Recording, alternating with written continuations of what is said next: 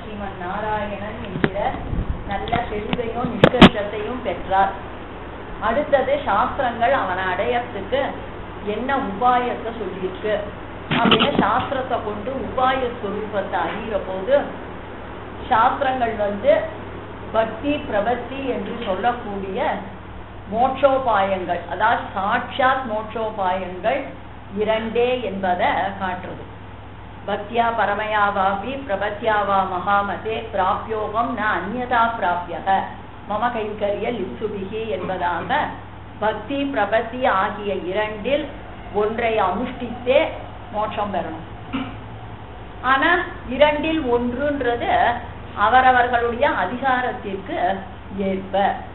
சகிஞ்சனனுக்கு பக்தியும் அகிஞ்சனனுக்கு பிரபத்தியும் என்பதாக வியவஸ்தித விகல்பமாக சொல்லப்படும். அதத்தான் சூத்திரக்காரர் நானா சப்தாதி வேதாத் என்றும் விகல்பகா அபிசிஷ்ட பலத்வாத் என்றும். அந்த மாதிரி பிரம்ம வித்யைகள் அநேகங்கள் அவற்றில் ஒன்றை அனுஷ்டிக்க வேண்டும். எந்த பிரம்ம வித்யை அனுஷ்டித்தாலும் பலன் ஒன்றே மோட்ச பலன். என்று சொல்லக்கூடிய ரீதியில பக்தி யோகத்துல அநேக வகைகள் இருக்கு. அதன் பிறகு சப்தாதி வேதா ஆதிபதத்தினால ஞாச வித்தியை பிரபத்தியானது சொல்லப்படுறது. ஆக இது இரண்டில் ஒன்றை அனுஷ்டித்தே மோட்சம் பெற வேண்டும்ன்றது சூத்திரக்காரராலையும் நிர்தாரணம் பண்ணப்பட்டிருக்கு. ஆக தத்துவத்தினுடைய ஸ்திதி இந்த மாதிரி இருக்கிற பொழுது பகவானும் கண்ணனும் கீதையில சொல்ற போது அனித்யம் அசுகம் லோகம் இமம் பிராபிய பஜஸ்வமாம் என்பதாக மாம் பஜஸ்வ என்னை குறிச்சு பக்தி யோகத்தை பண்ணு. என்று சொன்னான். அது பண்ண முடியாத அகிஞ்சனர்கள் விஷயத்துல மாம் ஏகம் சரணம் பிரஜ என்பதாக சரணாகதி லகுபாயமான சரணாகதியை விதிச்சான். ஆக விதி வாக்கியங்கள் வந்து பக்தி யோகத்தை விதிக்கிறது சரணாகதியை விதிக்கிறது தங்கள் அதிகாரத்திற்கு ஏற்றதொன்றை அனுஷ்டித்து மோட்சத்தை அடைய வேண்டும் என்பதுதான் ஸ்ருதியில காண்பிக்கப்பட்ட வழி. ஸ்மிருத்தியாதிகள்ல காண்பிக்கப்பட்ட வழி சூத்திரங்கள்லயும் காண்பிக்கப்பட்ட வழி கண்ணனும் கீதையில வந்து பக்தி பிரபத்தி ஆகிற உபாயங்கள் எல்லாம் சாதிச்சிருக்கான். ஆக இந்த மாதிரி சாஸ்திர விகிதமான சாஸ்திரத்துல விதிக்கப்பட்டதான சாத்தியோபாயம் நம்மால அனுஷ்டிக்கப்பட வேண்டியதான உபாய ஸ்வரூபத்தை சில ஆபாச யுக்திகளை கொண்டு அதுக்கு அழிவை உண்டாக்குகிறார்கள் சிலர். அதாவது ஆபாச யுக்திகள்ன்ற தர்க்கம்ன்றது எப்படி இருக்கணும்னா சத்தர்க்கங்களா இருக்கணுமே தவிர அந்த தர்க்கங்கள் வந்து புதர்க்கங்களாக இருக்கக்கூடாது. அதாவது சாஸ்திரத்துல சொன்ன விஷயத்த ஸ்தாபிதம் பண்றதுக்கு சத்தர்க்கங்களை கொண்டு ஸ்தாபிதம் பண்ணணுமே தவிர சாஸ்திரத்துல சொல்லப்பட்ட விஷயங்களை அழிக்கக்கூடிய வகையில புதர்க்கங்களை கொண்டு சாஸ்திர விகிதமான உபாயத்தை அழிக்க கூடாது என்று சொல்லும் சில ஆபாச யுக்திகளால அவ என்ன பண்றா? சித்தோபாய முகத்தாலே சாத்தியோபாய சரீரத்தை அழிக்க பார்ப்பார்கள். சாத்தியோபாய சரீரம்னா என்ன? சாத்தியோபாயத்தினுடைய சொரூபம். இப்படிப்பட்டது பக்தி பிரபத்தின்னு சாஸ்திரங்கள்ல சொன்ன சாத்தியோபாயத்தினுடைய சொரூபத்தை சித்தோபாய முகத்தாலே சித்தோபாயம் யார் எம்பெருமா ஸ்ரீயபதியான சர்வேஸ்வரர். பகவான் சித்தோபாயமாக இருக்க நாம ஒரு உபாயத்தை என்னத்துக்காக அனுஷ்டிக்க வேண்டும் அப்படின்னு சொல்லி சில பேர் வந்து சாத்தியோபாயத்தினுடைய ஸ்வரூபத்தை அழிக்க பார்ப்பார்கள் என்பதாக சுவாமி தேசிகன் சாதிக்கிறார்.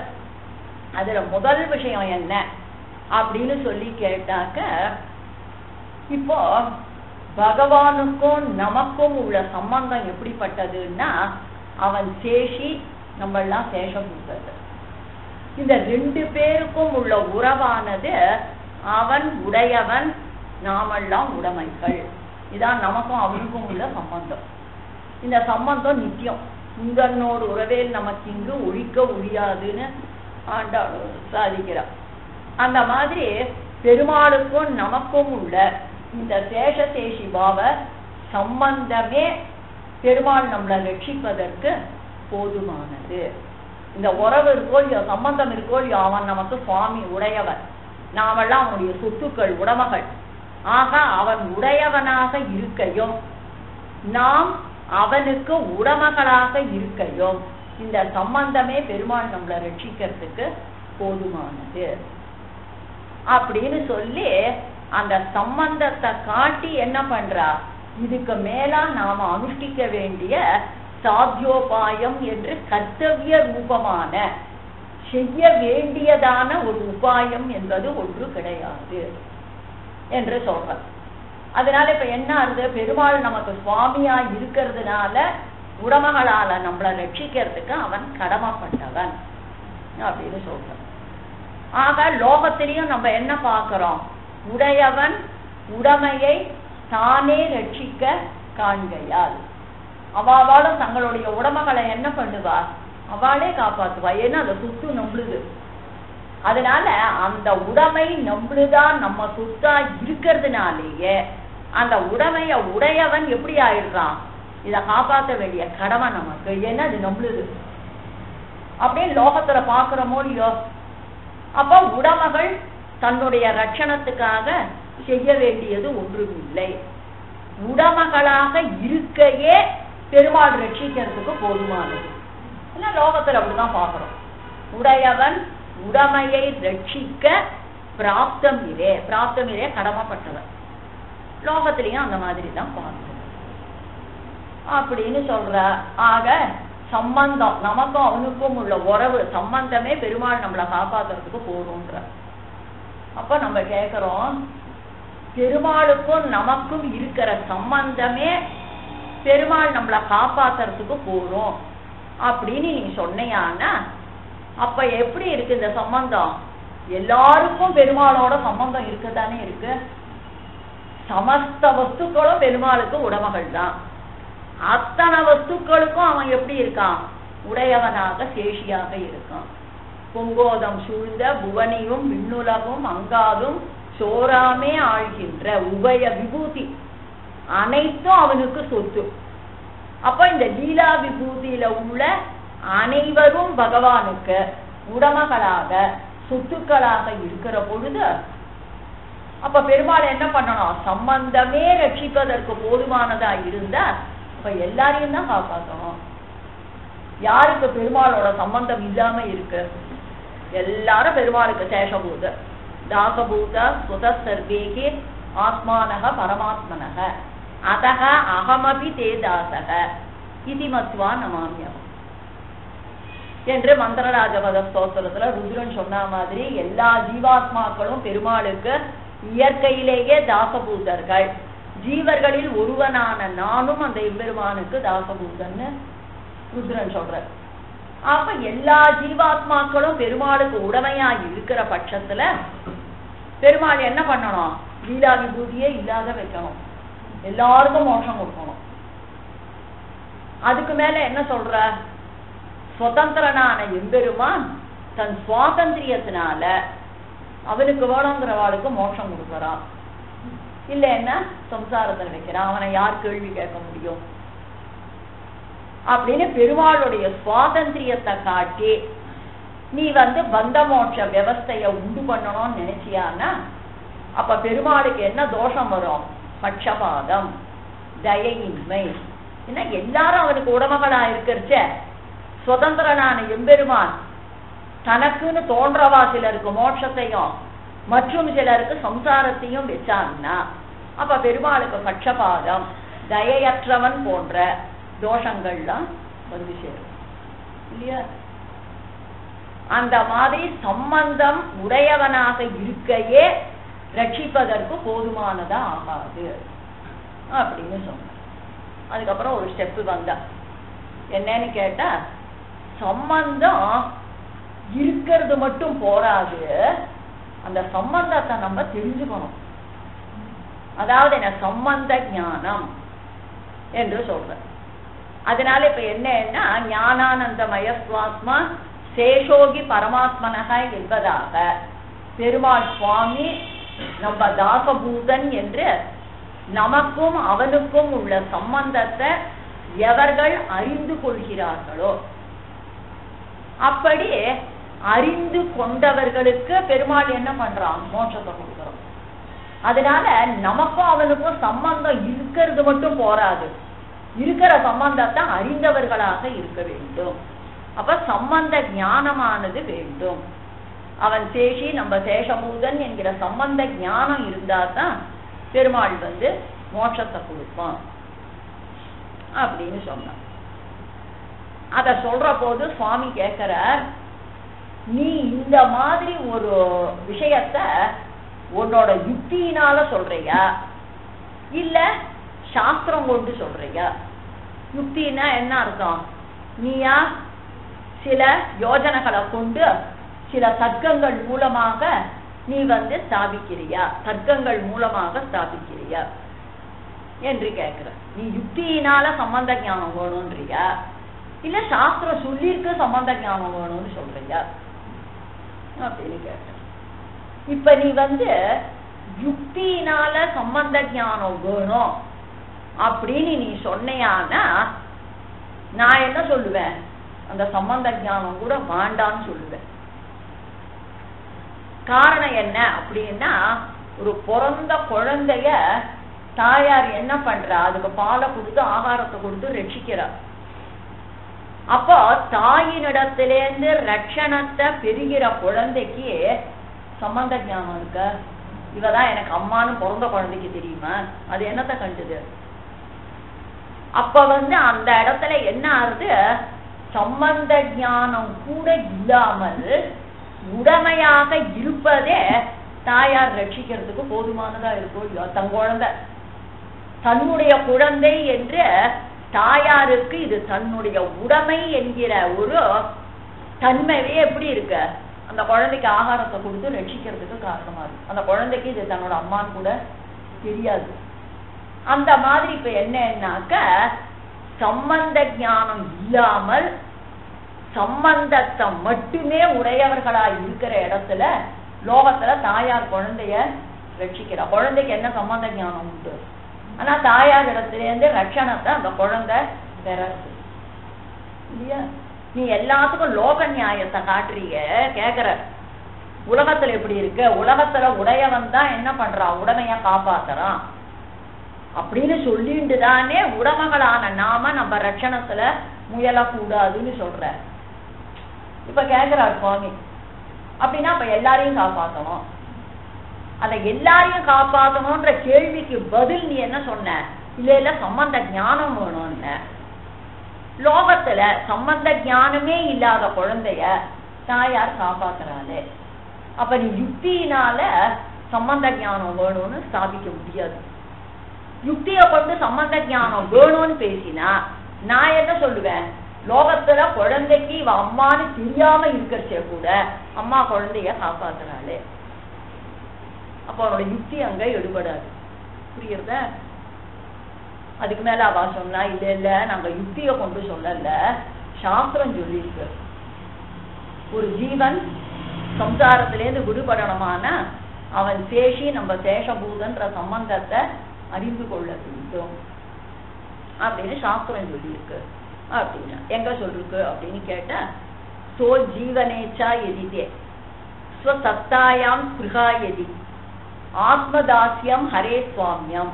ஸ்வபாவம் சதாத்மர நீ உன்னுடைய உஜ்ஜீவனத்தை விரும்பினால் உஜ்ஜீவனத்தை விரும்புறதுன்னா சம்சாரத்திலேருந்து விடுபட்டு மோட்சத்தை அடையணும். அப்படின்னு உன்னுடைய உஜ்ஜீவனம் நல்வாழ்வை நீ விரும்பினால் அவன் சுவாமி நீ தாசபூதன் என்ற உனக்கும் அவனுக்கும் உள்ள சம்பந்தத்தை எப்பொழுதும் நினைத்து கொண்டிரு. உஜீவனத்தை விரும்பினால் ஆத்ம தாசியம் ஹரே சுவாமியம். இந்த ஆத்மா பெருமாளுக்கு சேஷபூதன் எம்பெருமான் சுவாமி. சுவாவம் ச சதா ஸ்மர இந்த ரெண்டு பேருக்கும் உள்ள சம்பந்தத்தை எப்பொழுதும் நினைத்து கொண்டிரு. அப்ப நீ உஜ்ஜீவித்து விடுவாய் கடத்தேறி விடுவாய். இப்ப இந்த ஸ்லோகத்தை பாக்குற போது சம்பந்த ஞானம் போரும் அதனால மோட்சம் கிடைக்கும். உஜ்ஜீவனத்தை பெறுகிறான் உஜ்ஜீவிக்கிறான் என்று இந்த பிரமாண வாக்கியம் சொல்றதே. அப்படின்னு அதனால நாங்க என்ன சொல்றோம்? இப்ப நாங்க யுக்திய கொண்டு உங்ககிட்ட வாதாடல சாஸ்திரம் சொல்லியிருக்கு. அப்ப வா வழிக்கு. சாஸ்திரம் சொல்லிருக்குன்னு சம்பந்த ஞானம் வேணும்னா அதே சாஸ்திரம் தான் உபாயத்தையும் பண்ணணும்னு சொல்லிருக்கு. ஏன் அதை விடுற? இப்போ சாஸ்திரம் சொல்லியிருக்கு அதனால பெருமாளுக்கும் நமக்கும் உள்ள சம்பந்தத்தை அறியணும் அப்படின்னு நீ பேசினியானா எந்த சாஸ்திரம் சம்பந்தத்தை அறியணும்னு சொல்லிருக்கோ அதே சாஸ்திரம் தான் பஜஸ்வமாம். மாமேக்கம் சரணம் பிரஜ. நிதித்தியாசித்தவியக முமுட்சுர்வை சரணமகம் பிரபத்தியே என்றெல்லாம் சொல்லியிருக்கு. அப்ப என்ன பண்ண? ஒழுக உபாயத்தை அனுஷ்டிக்கணும்ன்றதையும் ஒத்துக்கோ என்பதாங்க சொன்ன அதாவது இப்ப என்ன முக்கியமா இந்த இடத்துல புரிஞ்சுக்கணும்னா ஒரு வாக்கியத்துக்கு அர்த்தம் சொல்ல முற்படுற போது மற்றும் உள்ள பிரமாண வாக்கியங்களோடு விரோதிக்காமல் அர்த்தம் சொல்லணும். ஆனா சொல்ற அர்த்தம் எப்படி இருக்க? நீ ஒரு வாக்கியத்துக்கு அர்த்தம் சொல்ற போது மற்ற பிரமாண வாக்கியங்கள் எல்லாம் காத்துல விட்டுட்ட. உன்னுடைய உஜீவனத்தை விரும்பினா அவன் சுவாமி நான் தாசபூதன்ற சம்பந்தத்தை நினைச்சுன்றுன்னு சொன்னா நீ என்ன சொல்ற? சம்பந்த ஞானமே போறோம் அப்படின்ற அப்போ சாஸ்திரங்கள் உபாயத்தை விதிக்கிறத சக்தனுக்கு பக்தியையும் அசக்தனுக்கு பிரபத்தியையும் இப்படி எல்லாம் விதிக்கிறத. இப்படி உபாய விதாயக வாக்கியங்கள்லாம் நீ சொல்ற அர்த்தத்தினால வீணாகிவிடும். சம்பந்த ஞானமே போறோம்னு சொன்னியானா உபாய விதாயக வாக்கியங்கள் நிரத்தகங்களா வேஸ்ட் அப்ப சாஸ்திரம் வந்து என்னத்துக்காக உபாயத்தை விதிக்க வேண்டும் என்பதாக சொல்ற இப்ப அர்த்தம் சொல்றது எப்படி இருக்கணும்னு கேட்டா சம்பந்த ஞானத்தை உஜீவனத்துக்கு காரணம்னு சொல்ற வாக்கியமும் பக்தி பிரபத்தி ஆகிற உபாயத்துல ஒன்ற அனுஷ்டிக்கணும்ன்ற வாக்கியத்துக்கும் முரண்பாடு இல்லாத சொல்லணும். இதுதான் நம்ம விசிஷ்டாத்வைதத்தினுடைய தனி சிறப்பு அதனாலதான் கடைசியில ஸ்ரீபாஷ்யத்துல முடிக்கச்சே இசி சர்வம் சமஞ்சசம் என்பதாக முடிக்கிறார். வேதஸ்ருதி அவேத ஸ்ருதிகளுக்கு ஒன்றுக்கொன்று எந்த விரோதமும் கிடையாது என்று ஒருத்தர் அபேத ஸ்ருதியை கைவிட்டா மாதிரியும் ஒருத்தர் வேத ஸ்ருதியை கைவிட்டா மாதிரியும் நம்முடைய சித்தாந்தம் இல்லை. அத்வைதிகள் வேத ஸ்ருதியை கைவிட்டா துவைதிகள் அபேத ஸ்ருதிகளை கைவிட்டா ஆனா நம்முடைய சித்தாந்தமோ மறைவுரைக்கும் பொருளெல்லாம் என்றுவார் அதனால வேதாந்தங்கள் சொல்லக்கூடிய அனைத்து வாக்கியங்களும் சத்தியம். அந்த வாக்கியங்களுக்குள் பிராபல்ய தௌர்பல்யம் கிடையாது. ஒரு வாக்கியத்தை பிரதானமாக கொண்டு மற்றைய வாக்கியங்களுக்கெல்லாம் பொருளை விடுவது என்பது தகாது. இப்ப இந்த இடத்துல பூர்வாச்சாரியர்களுடைய ஸ்ரீசுக்திகளை அனுசரித்து சுவாமி ஸ்ரீ தேசிகன் இந்த உஜ்ஜீவனத்தை விரும்பினா சம்பந்த ஞானத்தை உடையவனா இருக்கணும்ன்ற பிரமாண வாக்கியத்தை உபாயத்தை விதிக்கிற வாக்கியங்களோடு விரோதம் வராதபடி நிர்வாகம் பண்றது. நிர்வாகம் பண்றாருன்னா தான் செய்யல தானா செய்யல.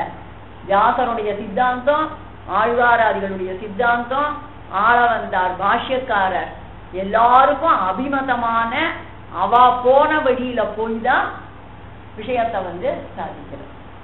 அதாவது என்னன்னா ஆத்மா உஜ்ஜீவிக்கணும் அப்படின்றதுக்கு சம்பந்த ஞானம்ன்றது எவ்வளவு பிரதானம் முக்கியத்துவம் வாய்ந்ததுன்னு காட்டுறது. ஏன்னா சம்பந்த ஞானம் இல்லாத சரணாகதிய அனுஷ்டிக்க முடியாது. சரணாகதியோ பக்தி யோகமோ உபாய அனுஷ்டானத்துக்கு தேவை அடிப்படை என்னன்னா தத்துவ ஞானம் தத்துவஞான விகலன் அதிகாரி அல்லலாம். அதனால தத்துவ ஞானம் இல்லாதவன் உபாயத்தை அனுஷ்டிப்பதற்கு தகுதி உடையவனாக ஆக மாட்டான். அப்படி இந்த தத்துவ ஞானத்துக்கு என்ன பிராதானியம் முக்கியத்துவம்னு கேட்டா இப்ப பெருமாள் சேஷி நம்ம சேஷபூதர்கள்னு தெரிஞ்சுட்டோம்னு வச்சுக்கோங்க.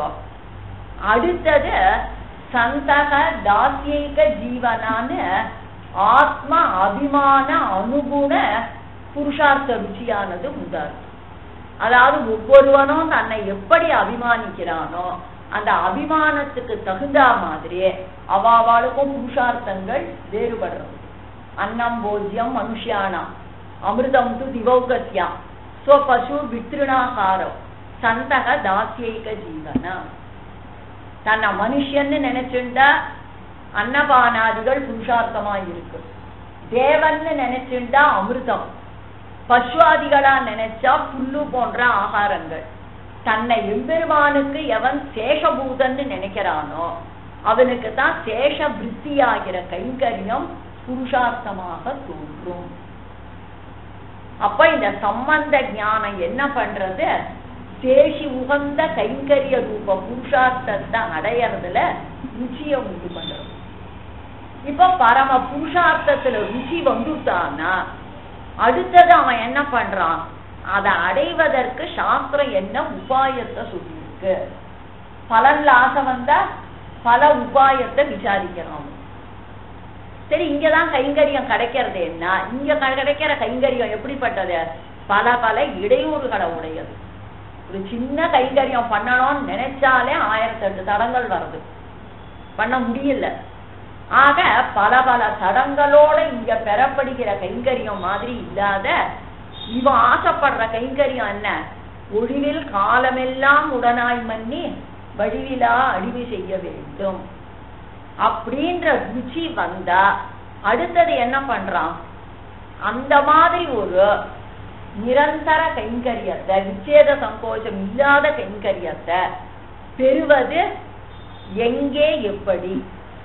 பரமபதத்தை சென்றாதான் பெற முடியும். அந்த பரமபதத்தை அடையறதுக்கு சாஸ்திரம் என்ன வழி சொல்லிருக்கு? உபாயத்தை சொல்லிருக்கு.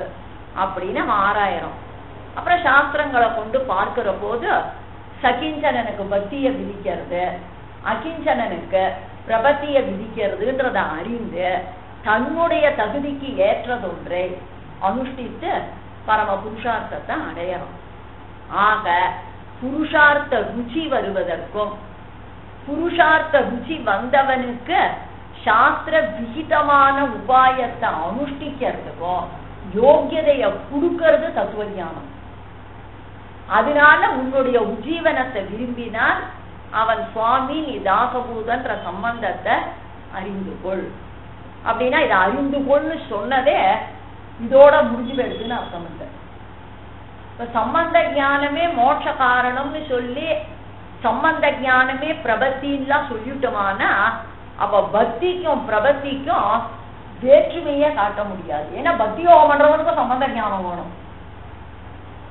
சம்பந்த ஞானமே பிரபத்தின்னு அப்ப பக்தி யோகம் பண்றவனுக்கும் முதல்ல வேதாந்த விசாரங்களை பண்ணி சம்பந்த ஞானத்தை உடையவனாக கொண்டுதான் கர்மயோகத்தை பகவத ஆராதனமாக பகவத் பிரீதியை உத்தரிச்சு ஆரம்பிக்கிறோம் அப்போ அவனுக்கும் அந்த சம்பந்த ஞானம் வேண்டிருக்கோ இல்லையோ? சம்பந்த ஞானமே பிரபத்தின்னா பக்திக்கும் பிரபத்திக்கும் வேற்றுமை என்ன சொல்ல முடியும்?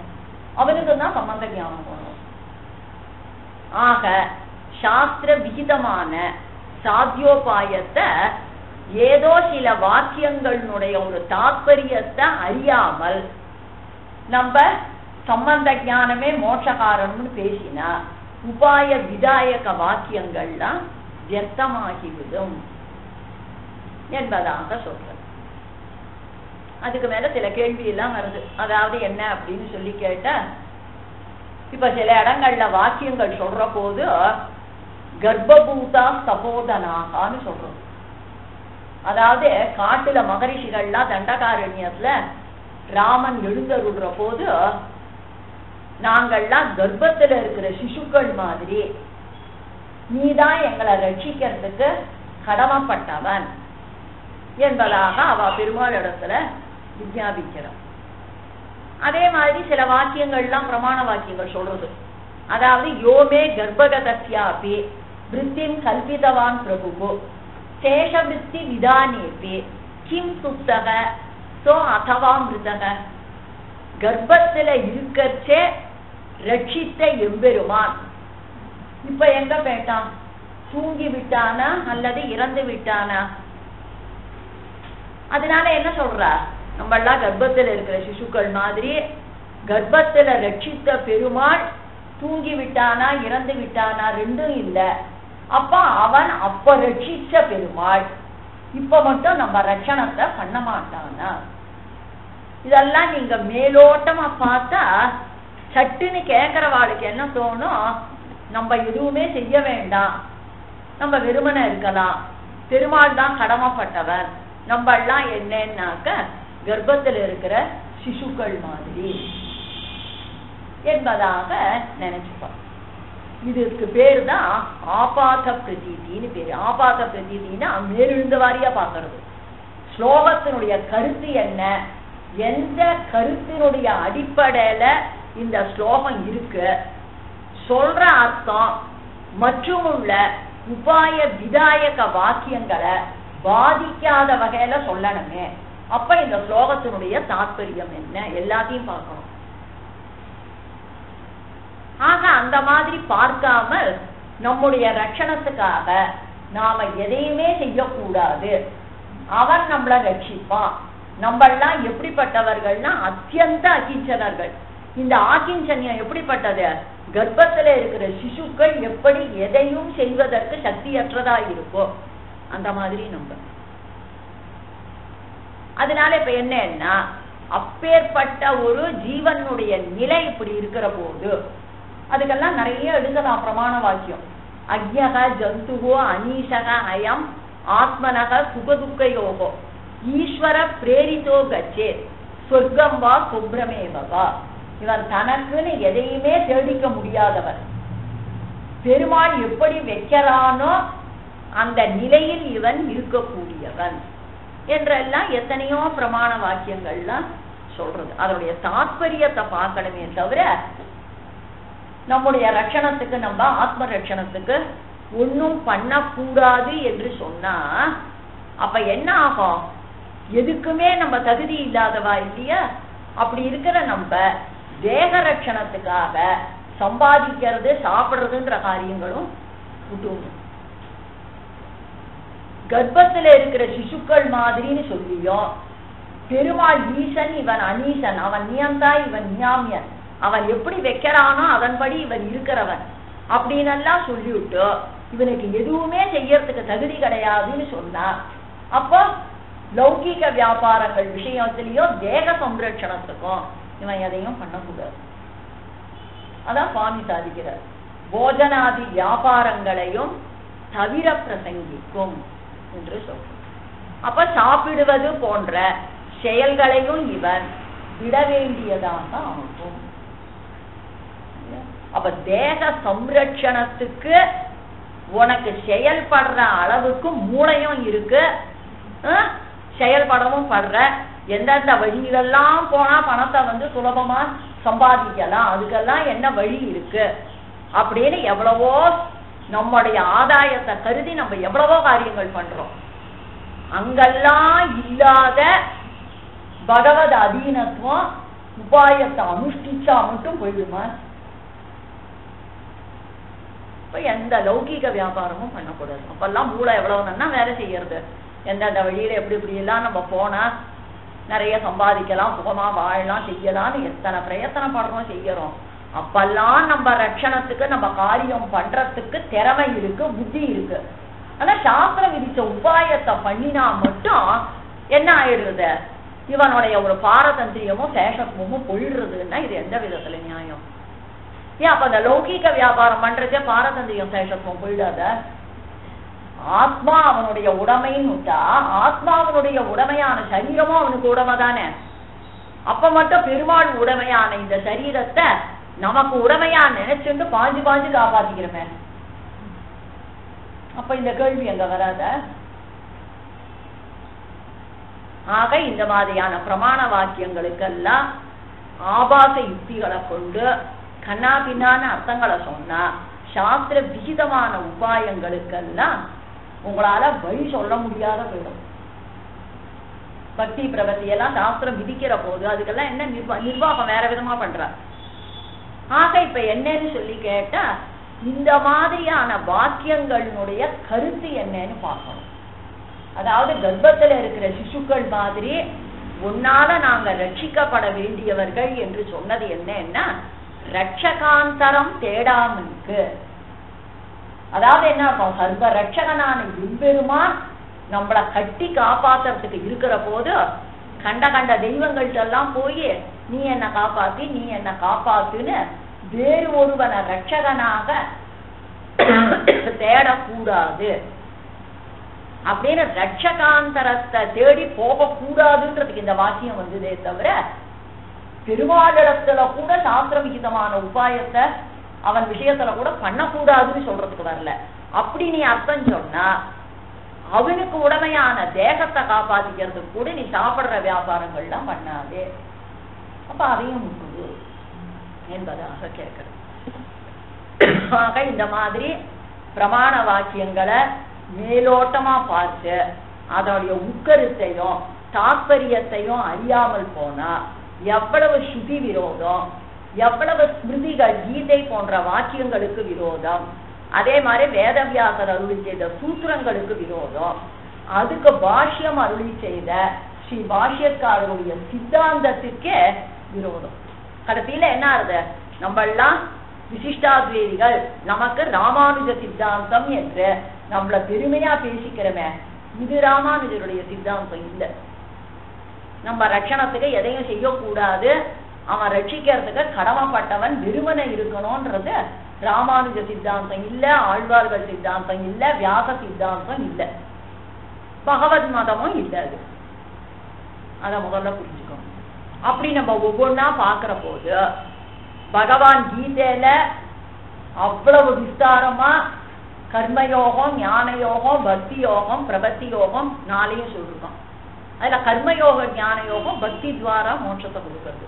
பக்தி சுதந்திர பிரபத்தியும் நேரடியான மோட்ச சாதனம் பெருமாளே உபாயத்தை பத்தி அவ்வளவு விரிவா சொல்லிருக்கோம் அந்த மாதிரி பெருமாள் சொன்ன உபாயத்தை உபபிரமணங்களான ஸ்மிருதிகளும் காட்டுறது. வேதவியாசர் சூத்திரம் அருளி செய்திருக்கார். அதுல அந்த ஸ்ரீபாஷ்யத்துல மூணாவது அத்தியாயம் மூணாவது பாதம் மூணாவது அத்தியாயத்துக்கு என்ன பேரு? சாதனாத்தியாயம்னு பேரு. அதுல மூன்றாவது பாதம் குணோபசம்ஹார பாதம் நான்காவது பாதம் அங்கபாதம். வர்ணாசிரமாதி தர்மங்கள் மற்றும் உள்ள சிலவற்றை அங்கமாக கொண்ட பக்தியோகமானது சாதனம் மோட்சோபாயம் என்பதாக சாதிக்கிறார். ஆக இந்த மாதிரி உபாசனத்தையும் அந்த உபாசனத்துக்கு மோட்சோபாயத்துவத்தையும் சாதிச்சிருக்கார் வேதவியாசர். இந்த மாதிரி உபாசனத்தை அனுஷ்டிக்கணும். அந்த உபாசனமானது இவனுக்கு மோட்சத்தை சாதிச்சு கொடுக்கறது. என்றெல்லாம் சொல்லித்தான் நாலாவது அத்தியாயமான பலாத்தியாயத்துல கடைசியில நாலாவது பாதம் பலபாதத்துல போகமாத்திர சாமிய லிங்காச்ச ஜெகத்யாபார வர்ஜம் முக்தைஸ்வர்யம் அனாவிருத்தி சப்தாத் அனாவிருத்தி சப்தாத்னு மோட்சத்தை பலனாக சொல்லி அந்த மோட்சம் எப்படிப்பட்டது? புனராவிருத்தி இல்லாதது மோட்சம் என்பதாக அதை பலனாக சொல்லி பலாத்தியாயத்தை முடிக்கிறது அப்போ சாதனத்துக்கு தானே பலன் அது. உபாயத்தை சொல்லி உபாய பலன் மோட்சம் என்பதாக சொல்லிருக்கார் இந்த பக்தி யோகம் ஒரு பக்கம் இப்படி இருக்கட்டும். இப்ப அகிஞ்சனர்களுக்கு ஏற்ற உபாயமான சரணாகதிய ஆழ்வார்கள் அனுஷ்டிச்சிருக்கார். புகழொன்றில்லா அடியேன் உன் அடிக்கீழ் அமர்ந்து புகுந்தேனே என்று சரணாகதியை அனுஷ்டிச்சிருக்கார். அதே மாதிரி சொற்பாத மூலம் சரணம் பிரபத்யே. அப்படின்னு சொல்லிருக்காரு. யாரு? ஆரவந்தார். ந தர்ம நிஷ்டோஸ்மி நஜாத்ம வேதி ந பக்திமான் சரணாரவிந்தே அகிஞ்சனோ அனன்யகதி சரண்ய துர்பாத மூலம் சரணம் பிரபதிய சரணாகதி பண்ணிருக்காரு அதே மாதிரி பாஷ்யக்காரரும் அனன்ய சரணக தொற்பாதார விந்த யுகலம் சரணமகம் பிரபதியே சரணாகதியை பண்ணிருக்காரு இப்படி எல்லாம் பூர்வாச்சாரியர்கள் சுதந்திர பிரபத்தியினுடைய அனுஷ்டானத்தை தாங்களே அனுஷ்டித்து காட்டியிருக்கிறார்கள். என்ன சாஸ்திரம் விதிச்சிருக்கு? இப்படி சாஸ்திரம் விதிச்ச இந்த சுதந்திர பிரபத்தியினுடைய அனுஷ்டானத்தை பூர்வாச்சாரியர்கள் அனுஷ்டித்து காட்டியிருக்கிற பொழுது அத வந்து அஜானத்தினால அனுஷ்டித்து பிறகு அனுஷயப்படுறான்னு சொல்லி வியாக்கியானம் பண்றது எவ்வளவு பொருத்தம் இல்லாத பேச்சு அப்படின்னு அவாவா தெரிஞ்சுக்கணும் தெரியாதனமா சரணாகதி பண்ணிட்டார். பண்ண சரணாகதியை குறிச்சு அனுஷயப்படுகிறார் அனுஷயப்படுறதுன்னா என்ன? பশ্சாதாபப்படுறது பச்சாதாபம் எதுக்கு வரும்? பாவகாரியம் பண்ணா அனுதாபப்படணும். இப்படி ஒரு பாவத்தை பண்ணிட்டோமே. அந்த சரணாகதியை வந்து ஒரு பாவகாரியமா வச்சுண்டு இந்த மாதிரி சரணாகதி பண்ணிட்டோமே என்று அனுஷயப்படுவதாக வியாக்கியானம் பண்றாலே இதுவா பூர்வாச்சாரியர்களுடைய திருவுள்ளமா இருக்க முடியுமா? எல்லாத்தையும் நம்ம கொஞ்சம் கொஞ்சமா பார்க்கணும். இப்ப சாஸ்திரங்கள் என்ன சொல்றது? உபாயத்தை சொல்றது. எத்யேன காம காமேன நசாத்தியம் சாதனாந்தரைகி. முமுட்சுனா எத் சாங்கியேன யோகேன நஜபக்திதக. பிராபியதே பரமம் தாம யதோ வர்த்ததே எதிகே. தேன தேனாப்பியதே தத்தது ஞாசேனைவ மகாமுனே. பரமாத்மா தேனைவ சாத்தியதே புருஷோத்தம. கர்மஜான பக்தியினால மோட்சத்தை அடைவதற்கு உபாயத்தை பண்ண முடியாத அகிஞ்சனர்கள் அந்த பக்தி ஸ்தானத்துல பகவானை நிறுத்துவதாகிற ஞாபே நெய்வ சரணாகதியினாலேயே மோட்சத்தை அடைகிறார்கள். என்று சொன்ன சாஸ்திரத்திற்கு ஏற்பதான் இப்ப பூர்வாச்சாரியர்கள் சரணாகதியை பண்ணினது வந்து ஞான சக்தியாதிகள் பக்தி யோக விஷயத்துல ஞான சக்தியாதிகள் இல்லாமையினாலே இல்லை.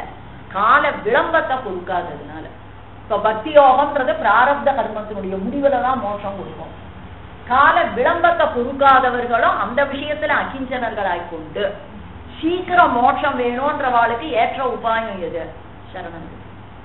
அதனால பிரபத்தியை அனுஷ்டிச்சு காட்டிருக்க ஆக இது சாஸ்திர சம்மதமான சாஸ்திர விகிதமான ஒரு காரியத்தை பண்ணிட்டு யாராவது அதுக்கு அனுஷயப்பட்டு மன்னிப்பு கேட்பாரா அதாவது என்னன்னா விஷயங்களை நன்னா தெரிஞ்சுட்டு யோசிக்கணும் சிந்திக்கணும் சொன்ன விஷயத்தை என்ன பண்ணணும் சிந்திக்கணும் அதனால இப்ப வந்து சும்மா வந்து பெருமாளுக்கு நம்ம உடமகள் ஆப்பேட்டோம் நம்மளை ரட்சிச்சுக்கிறதுக்கு ஒன்றும் பண்ணக்கூடாதுன்றது வந்து சாஸ்திரார்த்தமா இருந்தா என்னத்துக்கு சாஸ்திரங்கள் உபாயத்தை விதிக்கணும் அதை பண்ண சொல்லி சொல்லணும் தேவையே இல்லை அப்ப வந்து இது செய்யக்கூடாத காரியமா இருக்கிற பட்சத்துல மோட்சத்தை அது எப்படி பலனாக கொடுக்கும்? ஸ்வரூபத்துக்கு தகாத காரியம் ஸ்வரூப விருத்தம். இவனுடைய சேஷத்துவ பாரதந்திரியம் கெட்டுவிடும். அஜானிகளுக்கு உபாயம் ஞானிகளுக்கு அபாயம்னா. அப்ப அஜானிகளுக்கு உபாயம்னு சொல்ற அந்த உபாயம் தானே மோட்சத்துக்கு காரணமா இருக்கு. இல்லையா? ஆக இதெல்லாம் சிந்திக்கணும். எல்லாத்தையும் யோசிக்கணும். அது எப்படி அஜானிகளுக்கு உபாயமா இருக்க முடியும்?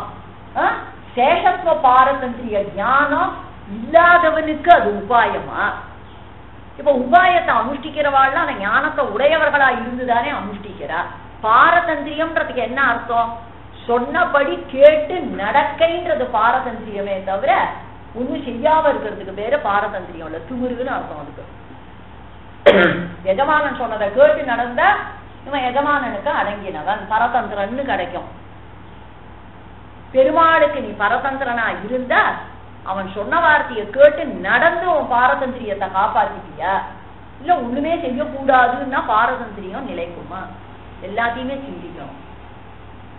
ஆக இந்த மாதிரியா பிரபத்தி விஷயத்துல சாஸ்திர விகிதமான சாத்தியோபாயத்தை கண்ணு அழிச்சுட்டு பக்தியோக விஷயத்துல அதிபயங்கரமான ஒரு வாதத்தை வைக்கிறான்.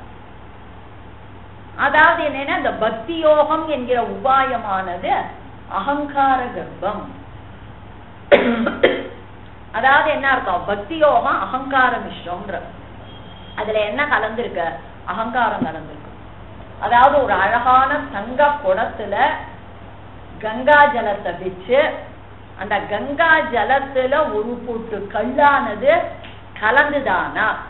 அந்த ஜலமே எப்படி தூய்மை அற்றதாக ஆகிவிடுகிறதோ பரிசுத்தியை இழக்கிறதோ அது மாதிரியா பக்தி யோகம் பக்தி யோகத்தினுடைய வர்ணனை வாழ்க்கை அதாவது என்ன அப்படின்னு கேட்டா தங்க குடம் மாதிரி ஜீவாத்ம சுரூபமா ஞானானந்த ஸ்வரூபனா இருக்கிறது தங்க குடம் மாதிரி ஜீவாத்மா.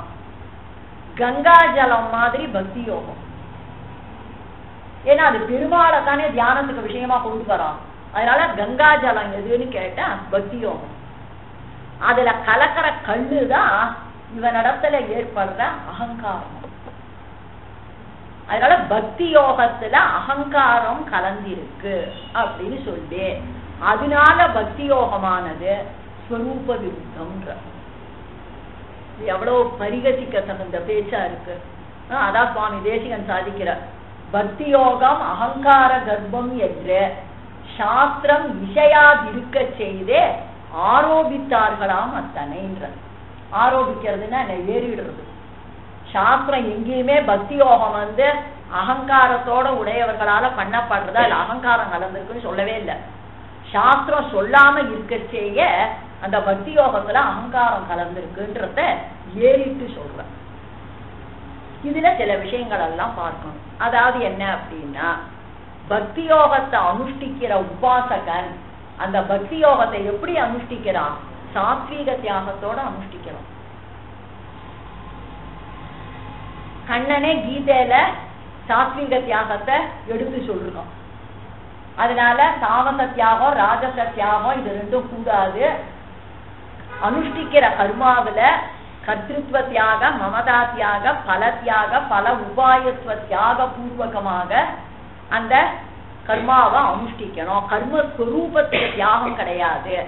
எண்ணங்களுக்கு மட்டுமே தியாகம் என்பதாகலாம். கண்ணன் சாத்விக தியாகத்தை அவ்வளவு விஸ்தாரமா சொல்லியிருக்கான். சொல்லிவிட்டு இந்த பக்தி யோகத்தை அனுஷ்டிக்கிறவன் என்ன பண்ணணும்? இந்த சாத்வீக தியாக பூர்வகமாக அந்த பக்தி யோகத்தை அனுஷ்டிக்கணும் இருக்கான் அந்த மாதிரி தான் பக்தி யோகத்தை அனுஷ்டிக்கிற வியாசாதிகளும் அந்த அனுஷ்டானம் உடையவர்கள் எல்லாருமே நிவிருத்தி தர்மத்துக்கே பொதுவானது எது? சாத்வீக தியாகம் பக்தி பிரபத்தி எதுவா இருந்தாலும் நிவிருத்தி தர்மத்துக்கு பொதுவானது சாத்வீக தியாகம் ஆக இந்த மாதிரி ஒரு சாத்வீக தியாகத்தோட கூட பக்தி யோகத்தை அனுஷ்டிக்கிற இடத்துல அதுல அகங்காரம் கலக்கிறதுக்கு வழி அடுத்தது சேஷத்துவ பாரதந்திரிய சுரூபத்துக்கு விரோதம் என்று சொன்னார். மகாபாரதத்தை இயற்றினவர் வேதவியாசர். பாரதம் பஞ்சமோ வேதகன்னு அஞ்சாவது வேதமா பாரதம் இதிகாசம் சொல்லப்படுறது. கிருஷ்ண துவைபாயனம் வியாசம் வித்தி நாராயணம் பிரபு. கோகி அந்நிய புவி மைத்ரேய மகாபாரத கிருத்வவே. வேதவியாச சாட்சாத் நாராயணனே. இல்லைன்னா இப்படிப்பட்ட ஒரு மகாபாரதத்தை வேறு யாரால இயற்ற முடியும்? மகர்ஷேகே கீர்த்தனா சத்திய பீஷ்மக பிராஞ்சலி அப்ரவி மகரிஷிகள்லாம் வேதவியாசன் என்று அவருடைய திருநாமத்தை சொன்னார். உடனே பீஷ்மர் இருக்கைய விட்டு எழுந்து கைகளை கூப்பி அஞ்சலி செலுத்துவர். அவ்வளவு மரியாதை. சூத்திரங்களை இயற்றியிருக்கார். சாரீரக சூத்திரங்களை இயற்றியிருக்கார். அவருக்கு ஆத்ம ஞானம் இல்லைன்னு சொல்லியா அவர் பக்தி யோகத்தை அனுஷ்டிச்சிருக்கார். அப்ப சேஷத்துவ பாரதந்திரிய சுரூபத்துக்கு அது செய்யக்கூடாத காரியம்னா அவருக்கு சுரூப ஞானம் இல்லையா? அதனால பக்தி யோகத்தை பண்ணிருக்காரா? கேள்வி வருதோ இல்லையோ? அவர் உபாசனம் பண்ணிருக்கார் பிரசித்தம். வியாசர்லாம் பக்தி யோக நிஷ்டர். அவருக்கு அகங்காரம் உள்ளவரா? இல்ல அவருக்கு தான் பெருமாளுக்கு சேஷபூதன் பெருமாளுக்கு பரதந்திரன்ற ஞானம் இல்லாதவரை உன்னோட வாதம் சேஷத்துவ பாரதந்திரிய ஞானத்துக்கு இல்லாதவா செய்யற காரியம் அந்த சொரூபத்தை உணர்ந்தவர்களுக்கு பக்தி யோகம் விருத்தம்னு பேசுற. அப்ப அவருக்கு சொரூப ஞானம் கிடையாது. இப்பேற்பட்ட பாரதத்தையும் சாரீரக சாஸ்திரத்தையும் அருளி செய்த வேதவியாசருக்கு ஜீவாத்ம சொரூபம் எப்படிப்பட்டதுன்னு அவர் தெரியாதவர. அவர் உபாசனத்தை அனுஷ்டிச்சிருக்காரு. அடுத்தது இன்னொன்னு என்ன சொல்ற? அர்ஜுனனுடைய செருக்கை அடக்குவதற்காக அனுபாயங்களை உபாயங்களாக விதித்து அதையே பரித்தேஜிய விடுன்னு சொன்னான்னு வியாக்கியானம் பண்ணிருக்க அனுபாயம் உபாயம் அல்லாதவற்றை உபாயமாக காட்டி அந்த உபாயத்தை விட்டு மாமேக்கம் சரணம் பிரஜன்னு வியாக்கியானம் என்னையே சித்தோபாயமா அறி அப்படின்னு பண்ணிருக்க இப்ப இதுல கேள்வி கேட்போம். அர்ஜுனனுடைய செருக்க கர்வத்தை அடக்கிறதுக்காக பெருமாள் உபாயம் இல்லாதத உபாயமாக சொன்னான் அப்படின்னு சொன்னா உபனிஷத்துல விதிக்கிற பக்தி யோகத்துக்கு விருத்தமா அவற்றுக்கு உபாயத்துவம் கிடையாதுன்னா கீதை எப்படி உபபிரமணமாகும்? உபனிஷத்துல உள்ள அர்த்தத்தை விசதீகரணம் பண்றதுனால தானே உபபிரமணம். அப்ப பகவத்கீதைக்கு பிராமணியம் எங்க இருந்து வரும்? இப்ப கபில ஸ்மிருதியெல்லாம் அனாதரணீயம்ன்றோம் ஏன்னா உபனிஷத்துக்கு விரோதமா அப்ரமாத்மகமான பிரகிருதிய ஜகத்காரணம்ன்றதுனால பிரம்ம காரணத்துக்கு விரோதமா இருக்கிறதுனால அப்பிரமாணம் கபில ஸ்மிருதி மன்வாதி ஸ்மிருதிகள் தான் ஏற்க தகுந்தது அப்படின்னு ஏத்துக்கிறோம். ஏன்னா மனு மகரிஷி தான் பிரம்ம காரணவாதத்தை இப்போ பெருமாள் இந்த கீதையில உபாயம் அல்லாதவற்றை உபாயமாக கூறினது அர்ஜுனனுடைய கர்வத்தை அடக்குவதற்காக வியாக்கியானம் பண்ணினா அப்ப வந்து என்ன ஏற்படுறது உண்மையில பக்திக்கு உபாயத்துவம் கிடையாதுன்னு ஏற்படுறது உபாயம் அல்லாதத பெருமாள் சொன்னா அர்ஜுனுடைய கர்வத்தை ஒடுக்கிறதுக்காக அப்படின்னு சொல்லணும். அப்ப அந்த பக்திக்கு உபாயத்துவம் கிடையாதுன்றது பெருமாளுடைய அபிப்பிராயமாக இருந்தால் பக்திய உபாயமாக விதிக்கிற உபனிஷத்தோட முரண்பட்ட கீதைக்கு பிராமணியம் எங்க இருந்து வரும் உபனிஷத்துக்கு பிராமணியம். உண்டு வேதத்தை. இல்லையே கீதை. கீத மெயின் இல்ல கீத உபபிரமணம் கீத மெயின் இல்ல அதாவது என்னன்னா பெருமாள் என்ன சொல்றான் உபனிஷத் சாரமான இந்த கீதையை உனக்கு சொல்றேன்றான் சர்வோபனிஷத் அதாவது என்ன காவக தோக்தா கோபால நந்தனக பார்த்தோ பத்சக சுதீகி கோப்தா துக்தம் கீதாமிருதம் மகது. உபனிஷத்துக்கள்லாம் பசுக்கள் என்று ஆரம்பிச்சு சொல்றான் அதனால வேதத்துக்கு உபபிரமணம் கீதை தவிர கீதை மெயின் இல்ல. வேதம் தான் மெயின் வேதத்துக்கு வியாக்கியானம் விசதீகரணம் பண்றது. அதனால பெருமாள் என்ன சொல்றான் சகல உபனிஷத் சாரமான கீதைய உனக்கு சொன்னேன். இத தகுதியற்றவர்களுக்கு சொல்லாதே. சத்பாத்திரம் கிடைத்தால் சொல்லு. அதனால உபனிஷத்துன்றதுக்கு வியாக்கியானம் கீதை. வியாக்கியம் உபனிஷத்து. எல்லாத்துக்கும் நமக்கு மெயின் இது எதுன்னா வேத வேதாந்தங்கள். அதனால ஆழ்வார் ஸ்ரீசுக்திகளோ பூர்வாச்சாரிய ஸ்ரீசுக்திகளோ கீதையோ மனுஸ்மிருதியோ எல்லாம் உபபிரமணம் தான் இப்ப இதனால என்ன கேள்வி வருது? பகவானாகவே இருந்தாலும் உபனிஷத்துக்கு விரோதமாக சொன்னா பகவான் சொன்னான்னு ஏத்துக்க முடியாது. கபில ஸ்மிருதி மாதிரி. பிரதான காரணவாதத்தை ஏத்துக்கல. கபில ஸ்மிருதி கண்டனத்துக்குரியதா இருக்கு. அதே மாதிரி புத்தாவதாரம் பண்ணி பௌத்த மதத்தை சொன்ன சூன்யவாதம் கண்டனத்துக்குரியதா இருக்கு. ஏன்னா அது உபனிஷத்துக்களுக்கு விரோதம். பெருமாள் சொன்னதுனால ஏத்துக்க முடியாது. அதனாலதான் கீதைய உபதேசம் பண்ணிட்டு பெருமாள் என்ன பண்றான் பீஷ்மர் முதலான ஞானாதிகரை இட்டு மூதலிப்பித்தான் தான் சொன்ன பகவத்கீதை முற்றிலும் பிரமாணத்தை தழுவியது அப்படின்னு பீஷ்மாதிகளை கொண்டு தான் சொன்ன விஷயத்தினுடைய பிராமாண்யத்தை பெருமாள் எஸ்டாப்ளிஷ் பண்ணான். வெளியிட்டு அந்த மாதிரி ஸ்தாபிதம் பண்ணினான். நான் சொன்னது வந்து பௌத்த மதம் மாதிரியோ அல்லது கபில மதம் மாதிரியோ இல்ல அப்படின்னு. இப்போ அர்ஜுனுடைய கர்ப்பத்தை அடக்கிறதுக்காக உபாயம் அல்லாததை பெருமாள் உபாயமா சொல்லி அதை பரித்தேஜியான்னு அவன் சொன்னான். அப்ப கீதை வந்து உபாயமா விதிக்கிற உபனிஷத்துக்களோட விரோதிக்கிறதுக்கு. ஏன்னா நீதான் உபாயம் இல்லைன்னு சொல்லிவிட்டு உபாயமா கல்பனை பண்ணி சொல்றான். ஏன்னா அர்ஜுனுடைய கர்வத்தை உடுக்கிறதுக்குன்னு அந்த மாதிரி கீதையில ஒரு ஸ்லோகம் கிடையாது. அர்ஜுன கர்வம் ஏற்பட்டதுன்னே ஸ்லோகம் கிடையாது. சிஷ்யஸ்தேகம் ஷாதிமான் சுவாம் பிரபன்னம்னு சரணாகதனான அர்ஜுனனுக்கு சகல உபனிஷத் சாரத்தை சொல்றான் பெருமன். அந்த மாதிரி கிடையவே கிடையாது. இதெல்லாம் என்னன்னா சாஸ்திரம் இசையாதிருக்க செய்தே ஆரோபித்தார்கள்ன்ற. அதனால இதுல அகங்கார மிஸ்ரத்துவம் கிடையாது. அர்ஜுனுடைய கர்வத்தை அடக்கிறதுக்கு சொன்ன வார்த்தை கிடையாது. இதுக்கு நிரூபணத்துக்கு ஒரு விஷயம் இருந்தா போதும். அதாவது என்னன்னா பதினெட்டாவது அத்தியாயத்துல சொல்றச்சே மன்மனாபவ மத்பத்தக மத்யாஜீமாம் நமஸ்குரு. மாமே வைஷ்யசி சத்தியம் தே பிரதிஜானே பிரியோசிமேன்னு சொல்றான் என்னை குறிச்சு பக்தி யோகம் பண்ணால் என்னையே அடைவாய். நான் சொல்ற இந்த வசனம் வந்து சத்தியமான வசனம். அப்படின்னு சொல்லி நீ எனக்கு ரொம்ப பிரியமானவனா இருக்கிறதுனால உன்னை வஞ்சிக்கிறதுக்காக சொன்ன வார்த்தை இல்லைன்றத கீதா பாஷ்யத்துல இந்த ஸ்லோகத்துக்கு வியாக்கியானம் பண்ணிருக்கார் பாஷ்யக்காரர். உன்னை வஞ்சிக்கிறதுக்காக நான் பக்தி யோகத்தை சொல்லல. நீ எனக்கு ரொம்ப பிரியமானவன். பிரியமானவனை ஒன்ன வஞ்சிக்க மாட்டேன். சத்தியமான வார்த்தை. வஞ்சன வார்த்தை இல்லை. என்னை குறிச்சு பக்தி யோகம் பண்ணு என்னையே அடைவாய். அப்ப வந்து இல்லாத உபாயத்தை கர்ப்பத்தை அடக்கிறதுக்கு சொன்னான்றதுக்கு பிரமாணமே கிடையாது. இதெல்லாம் ஆராயணும்.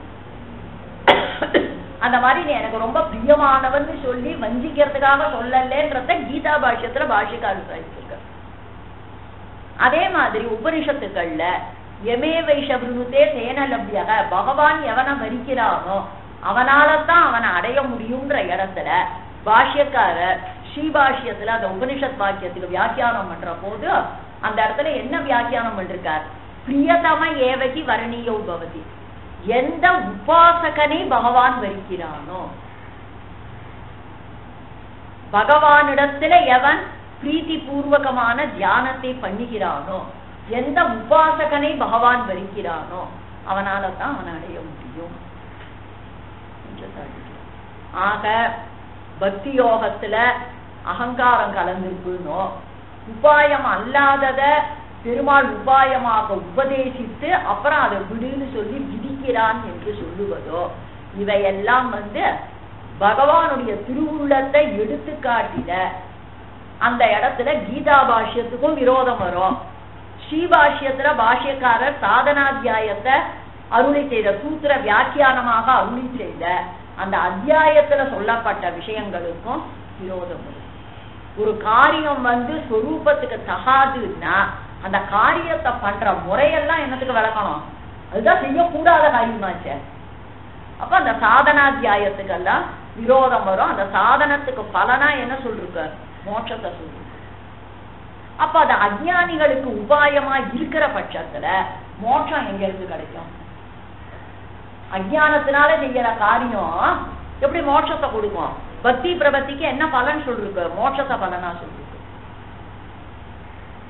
அதனால இப்ப இதுல எல்லாம் நம்ம தீர்ந்து தெரிஞ்சுக்க வேண்டிய விஷயம் என்னன்னா பெருமாள் நமக்கு சித்தோபாயமாக இருந்து பலனை கொடுக்க வேண்டும் அப்படின்னா எப்படிப்பட்ட பகவான் சித்தோபாயம் என்று சொன்னா சாத்தியோபாயத்தால் வசீகிருதனாய் கொண்டு அதனால சாஸ்திர விகிதமான சாத்தியோபாயத்தை பக்தி பிரபத்தி இரண்டில் ஒன்றை. அதிகார அனுகுணமாக எவர்கள் அனுஷ்டித்து அந்த பகவானை வசீகரிக்கிறார்களோ அப்படி வசீகரிக்கப்பட்டவனாய் கொண்டு பலப்பிரதத்வேன அவன் நமக்கு சித்தோபாயனாக ஆகிறான். அதத்தான் நல்ல தீர்மானமான சித்தாந்தமாக பூர்வாச்சாரிய சம்பிரதாயத்துக்கு அனுகுணமான சித்தாந்தமாக அறிவிச்சுகிறார் ஜலதி சுதயா சார்த்தம் தேவோ ஜகத் பரிபாலயன். பரம புருஷக சித்தோபாயக. எப்படி இருக்கான் பிரதிஷ்ட பரஸ்ததாம் சிவபதியான எம்பெருமான் நம்மால் சமர்ப்பிக்கப்பட்ட வரத்தை ஸ்வீகரித்தவனாய் கொண்டு பலப்பிரதனாக நமக்கு சித்தோபாயனாக ஆகிறார். சாத்தியோபாயத்தை ஒத்துக்காதவர்களால பெருமாளுக்கு சித்தோபாயத்துவத்தை சாதிக்கவே முடியாது. சாத்தியோபாயம் இல்லாமல் போனால் அந்த பகவானுக்கு சித்தோபாயமே சித்திக்காது. அதனால பெருமாளை சித்தோபாயமா ஒத்துக்கிறவா கட்டாயம் அவனுடைய வசீகரணார்த்தம் விதிக்கப்பட்ட சாத்தியோபாயத்தை கட்டாயம் வந்து ஒத்துண்டே ஆகணும். அதையே ஸ்ரீபாஷ்யத்துல தசியஜ வசீகரணம் தத் சரணாகதி ரேவன்னு அங்க பிரபத்திய வந்து சாதிச்சிருக்க. சரணாகதியினால் அவனை வசீகரித்து அதன் பிறகு பக்தியை அனுஷ்டித்து இவன் வந்து மோட்சத்தை அடையும். அதனால அந்த மாதிரி அங்க சாதிச்சார். சுதந்திர பிரபத்திய எங்க சாதிச்சார்? கத்தியத்துல. சரணாகதி கத்தியத்துல சுதந்திர பிரபத்திய சாதிச்சார் ஸ்ரீபாஷ்ய கீதா பாஷ்யத்துல என்ன சாதிக்கிறார்? அங்க பிரபத்தியையும். இதுல சுதந்திர பிரபத்திய சரணாகதி கத்தியத்திலும் சாதிக்கிறார். ஏதோ ஒரு வகையில அதனால ஏதேனும் ஒரு பிரகாரமா ஆரேனும் ஒரு ஒரு அனுஷ்டிக்கவுமா பிரபத்திக்கு அல்லது சர்வேஸ்வரன் பரம புருஷார்த்தம் கொடுக்க இறந்தான். பிரபன்னாத் அந்நேஷாம் ந திசதி முகுந்தோ நிஜபதம் பிரபன்னச்சத் வேதா சுச்சரித பரிபாகவிதயா. விளம்பேன பிராப்திகே பஜன சுகம் ஏகசிய விபுலம். பரக ஆசு பிராப்திகே பரிமிதரதா ஜீவிதரதா அப்ப பிரபத்திக்கு அல்லது சர்வேஸ்வரன் பரம புருஷார்த்தம் கொடுக்க இறங்கான் என்று சொல்லி அது இரண்டு விதம் பிரபத்தி. ஒன்று என்னது? அங்க பிரபத்தி மற்றொன்று சுதந்திர பிரபத்தி அங்க பிரபத்திய அனுஷ்டிச்சு பக்திய அனுஷ்டிக்கிறவனுக்கு விளம்பேன பிராப்தி. பிராரப்த அவசானத்துல மோட்சம். அதுவே சுதந்திர பிரபத்திய அனுஷ்டிக்கிறவனுக்கு விளம்பம் இல்லாமல் இவன் கோரின காலத்துல ஆக மொத்தத்துல பிரபத்திக்கு அல்லது சர்வேஸ்வரன் பரம புருஷார்த்தத்தை ஒரு காலம் கொடுக்க மாட்டான் என்பதுதான் பூர்வாச்சாரிய சம்மதமான அவ வழியில விஷயங்களை சாதித்து கொண்டு வருகிற சுவாமி தேசிகனுடைய சித்தாந்தம். சுவாமி தேசிகனுடைய சித்தாந்தம் தான் வியாச சித்தாந்தம் ஆழ்வார்களுடைய சித்தாந்தம் மற்றும் உள்ள பூர்வாச்சாரியர்களுடைய சித்தாந்தம் என்பதாக இந்த உபாய ஸ்வரூபத்துல நல்ல தெளிவாவாவா வந்து உண்டு கொஞ்சம்.